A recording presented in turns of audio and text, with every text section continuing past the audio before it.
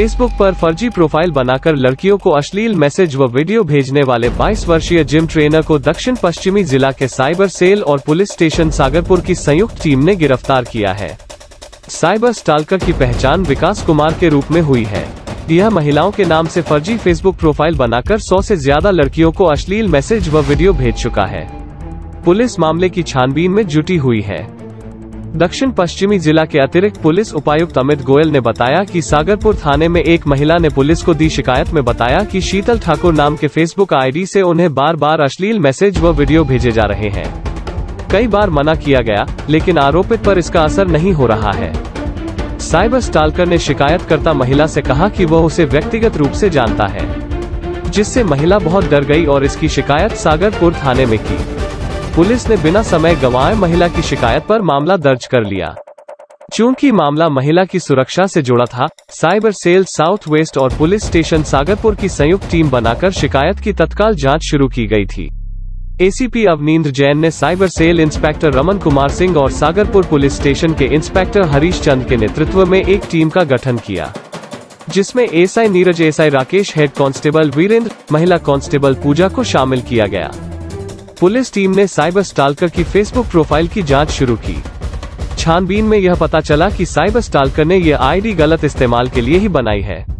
साथ ही पुलिस को मोबाइल नंबर नौ छह सात नौ आठ चार शून्य आठ आठ का भी पता चला, जिस पर फेसबुक को ऑपरेट किया जा रहा था। यह नंबर किसी रियाजुद्दीन के नाम पर था। पुलिस की टेक्निकल टीम ने अपनी जाँच में यह पाया कि आरोपित साइबर स्टालकर शिकायतकर्ता महिला के घर के आसपास का ही रहने वाला है। साइबर सेल ने साइबर स्टालकर का पता लगा लिया। आरोपित साइबर स्टालकर की पहचान दशरथपुरी के 22 वर्षीय जिम ट्रेनर विकास कुमार के रूप में हुई पुलिस ने उसे गिरफ़्तार कर लिया गया। लगातार पूछताछ के दौरान साइबर स्टालकर विकास कुमार ने खुलासा किया कि वो अश्लील वीडियो देखने का आदि है। उसने लड़कियों के नाम पर तीन फर्जी फेसबुक आईडी बनाई हुई है। इन फर्जी फेसबुक प्रोफाइलों से लड़की बनकर लड़कियों को दोस्ती का संदेश भेजता था। कुछ चैट के बाद वो लड़कियों को अश्लील वीडियो और संदेश भेजता था। उसके बाद उन्हें यौन संबंध बनाने के लिए प्रेरित करता था। साइबर स्टालकर ने शिकायत करता महिला को देखा हुआ था जो उसकी पड़ोसन थी। आरोपी ने यौन संबंध बनाने के लिए शिकायत करता महिला को पहले लड़की बनकर फ्रेंड रिक्वेस्ट भेजी। फिर धीरे धीरे अश्लील संदेश और वीडियो भेजने लगा।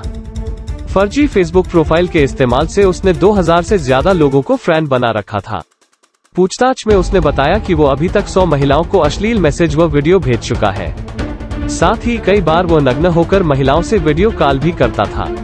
आरोपित ने पुलिस को बताया कि वो पिछले डेढ़ साल से लड़कियों को अश्लील मैसेज व वीडियो भेज रहा है। आरोपी ने शीतल ठाकुर, पूजा कुमारी और शिवानी गुप्ता के नाम से तीन फेसबुक प्रोफ़ाइल बना रखी थी। आरोपी की गिरफ्तारी के बाद साइबर सेल दक्षिण पश्चिम ने फेसबुक से हटवा दिया है। गिरफ़्तार आरोपी 22 वर्षीय विकास कुमार दिल्ली के दशरथपुरी का रहने वाला है और जिला मेरठ, यूपी का स्थायी निवासी है। हालाँकि जन्म से ही वो अपने माता पिता के साथ दिल्ली में रह रहा है। वह द्वारका के सेक्टर चार स्थित एक जिम में ट्रेनर है। आरोपी ने बारहवीं कक्षा तक पढ़ा है। वो अश्लील वीडियो देखने का आदि है, जिसकी वजह से पिछले डेढ़ साल से फर्जी फेसबुक आईडी बनाकर लड़कियों, महिलाओं से लड़की बनकर अश्लील बातें करता था। फ़िलहाल पुलिस ने आरोपी को गिरफ़्तार कर लिया है और आगे की जाँच में जुट गई है। सनसनी ऑफ़ इंडिया नेटवर्क। अपने आसपास होने वाले क्राइम से सजग रहने और क्राइम वीडियो देखने के लिए Sansani of India YouTube channel को लाइक, शेयर और अगर आपने हमें अभी तक सब्सक्राइब नहीं किया है तो तुरंत सब्सक्राइब करके बेल आइकॉन को भी दबा दीजिए ताकि हर क्राइम से आप रहें जागरूक।